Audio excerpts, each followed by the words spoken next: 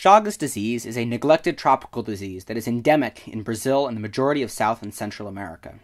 Chagas disease is classified as a neglected tropical disease, and over 8 million people in the endemic region are infected, while many others remain undiagnosed. This lack of diagnosis is problematic because, if left untreated, the disease can persist in the body for the entire life of the infected patient and is potentially life threatening, especially in children and those with suppressed immune systems. Chagas is caused by a, by a protozoan parasite called Trypanosoma cruzi, or T. cruzi. The parasite enters the body through a, through a variety of transmission vectors and invades the body's dendritic cells, eventually entering the bloodstream. Chagas is transmitted through five primary vectors congenitally, contaminated blood, contaminated organs, accidental laboratory, laboratory exposure, and infected insects, although the insect vector is the most common in rural areas with less socioeconomic development. The insect vector is the triatomine bug, otherwise known as the kissing bug. The kissing bug hides in the crevices of walls and cracks in roofs in poorly made houses, which are often made of natural materials such as mud, straw, or palm thatch. The kissing bug bites mammals to feed on their blood and then defecates at the site of the bite wound. The feces is then mechanically entered into the body through the eyelids, mouth, or bite hole. Chagas disease has two distinct phases acute and chronic.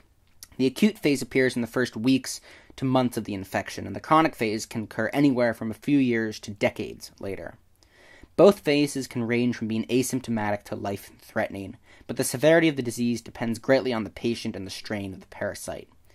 In the acute phase, there are a wide variety of symptoms, but as many of the but as many of the symptoms are not unique to the disease and often can re- be resolved without treatment, it often goes unnoticed. Some symptoms include fever, fatigue, body aches, a mild enlargement of the liver or spleen, swollen glands, and local swelling on the face at the site of the bite. In the chronic phase, on average, there's a 30% chance of, a more ser- of more serious complications developing, such as congestive heart failure, an enlarged heart, an altered heart rate or rhythm, cardiac arrest, or an enlargement, enlarged esophagus or colon. To prevent the spread of Chagas disease, the simplest solution is vector control.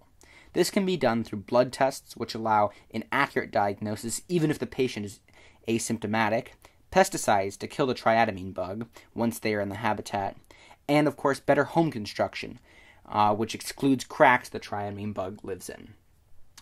Treatment for Chagas depends on the stage of the infection, but treatment is generally only effective in the acute phase, where the medicines are antiparasitic, as opposed to treatments in the chronic phase, which directly manage the complications as opposed to treating the underlying illness. There are currently two antiparasitic treatments available benznidazole and nifurtimox. Unfortunately, both medications are expensive, making it difficult for impoverished people in rural areas to fully comply with the regimen, but which both strengthens the parasite and fails to kill the infection. As Chagas is easily preventable and treatable, we have decided to divide a $100,000 grant into two portions vector control and treatment. $25,000 of the grant would go towards making treatment more affordable through government subsidies, and $75,000 of the grant would go towards eliminating the insect vector from homes through better construction and the use of pesticides. This would control transmission, gradually reducing infection rates throughout the next several generations. This grant would be given to the Chagas Disease Foundation, a nonprofit working with volunteers and scientists to research Chagas all over South and Central America, including several operations in Brazil. Thank you for watching this video, which was created by Katie Rhodes and Reuben Schafir for pathogens and parasites.